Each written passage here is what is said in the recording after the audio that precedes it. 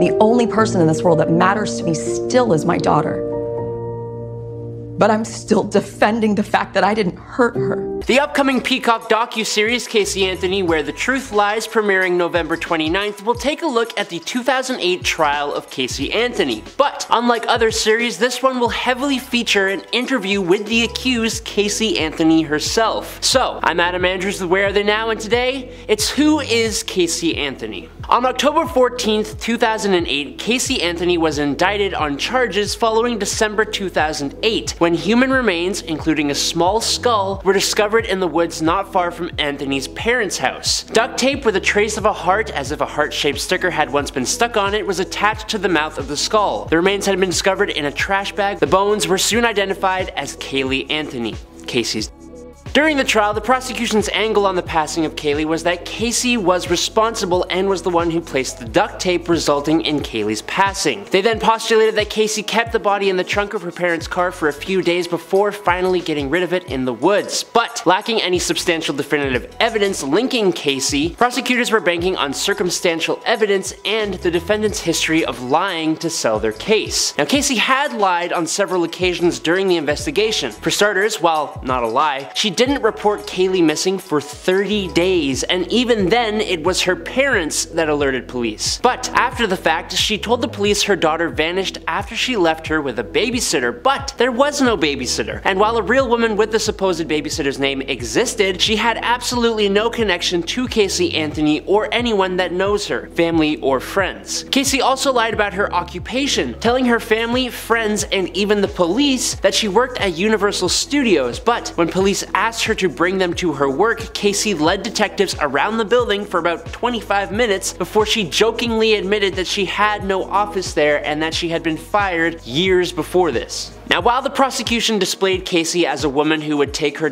life, get rid of the body, and went about her own life for a month, even entering a hot bod contest at a club just days after the passing occurred, the defense on the other hand insisted the passing was an accident followed by panic from a young mother who had a rather dark past and a bad family life. In his opening statement, Casey's lawyer, Jose Baez, stated quote, You will hear stories about a family that is incredibly dysfunctional. You will hear about ugly things, secret things, things that people don't speak about, referring to accusations they would make in court about Casey's father and brother and the supposed mistreatment they had inflicted on Casey. In total, the trial lasted for about six weeks, ending on July 5th, 2011. The jury, after deliberating for 10 hours and 40 minutes, found Casey not guilty of the main crimes she was accused of. She was instead convicted of four misdemeanor counts of lying to law enforcement, two of which were later thrown out on appeal appeal. In the end, Casey was sentenced to four years in jail and fined $4,000 plus court costs, and on July 11, 2011, she was released after six days with credit because of the approximately three years already served during the investigation and trial and for good behavior at the time.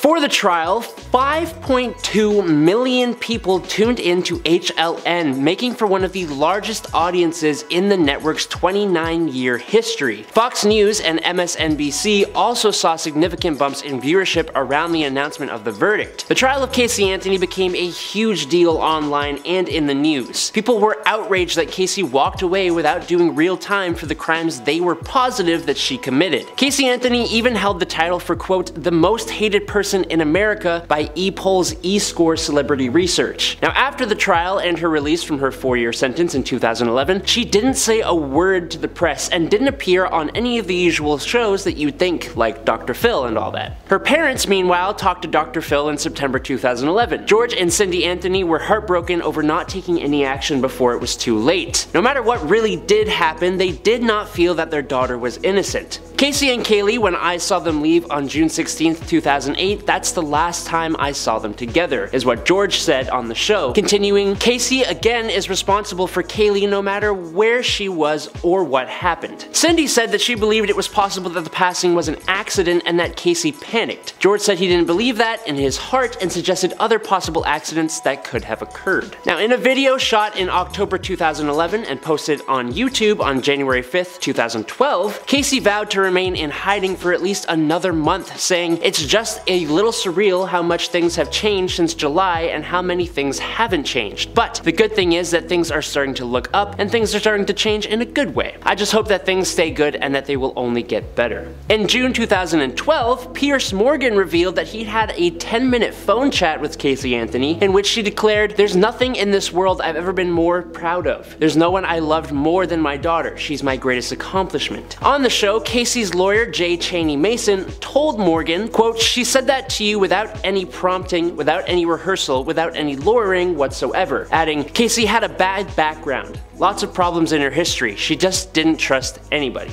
Casey also reportedly told Morgan, quote, I'm 26 now and I've been through hell. I'm not making gazillions of dollars at the hands of other people or trying to sell myself to anyone willing to throw a couple of dollars at me. The caricature of me out there couldn't be any further from the truth. Now last year in 2021, ahead of the 10th anniversary of the verdict, a male juror from the case told People magazine, quote, Generally, none of us liked Casey Anthony at all. She seems like a horrible person, but the prosecutors did not give us enough evidence to convict. They gave us a lot of stuff that makes us think that she probably did something wrong, but not beyond a reasonable doubt. He continued on saying, quote, My decision haunts me to this day. I think now if I were to do it over again, I'd push harder to convict her of one of the lesser charges. But this wasn't the end of run-ins with the law for Casey Anthony. Nothing huge, but Casey was sentenced to a year of probation in 2011 for check fraud. She filed for Chapter 7 bankruptcy protection in 2013 in Tampa claiming she was almost $800,000 in debt, not least due to legal fees, and had only about $1,000 in personal property. On May 23, 2021, she caught the attention of TMZ when she called 911 to report that she'd been in an altercation with another woman at a bar in West Palm Beach. No one was arrested, but the incident report stated that she and a woman were fighting over a guy they'd both dated in the past. The other woman told Fox News in June that the altercation had, quote, zero to do with an ex-boyfriend, there's more to it, I wish not to say. As for what Casey Anthony has been doing in her time since she was released, in November 2015, she filed to register a company called Case Photography, and the following year she was said to be working for and staying with Patrick McKenna, a private investigator who worked for the defense on her case and for the O.J. Simpson defense team back in the 1990s. The Miami Herald reported in January 2021 that state records showed Casey had registered her own private investigation business called Case Research and Consulting Solutions in the state of Florida on December 14th, using McKenna's longtime address. Now both of these businesses, the photography and the PI work, seem to be failed ventures for Casey Anthony. The now 36 year old sat down for multiple interviews over the course of six months to speak on the infamous investigation, trial, and aftermath, as well as the speculation surrounding her actions at the time, her demeanor in the courtroom, and her time spent in prison. She has somewhat famously refused to do interviews for most things unless she has a bit more of a say in how she is portrayed. Now whether that is to hide her own guilt or because Casey Anthony knows how people could possibly twist her words or narrative, that's up to you guys to decide. But that was a very brief rundown on who Casey Anthony is. Be sure to check out the docu-series and or do your own research for more details on the case. I've been Adam Andrews with Where Are They Now? Thanks for watching and I'll see you next time.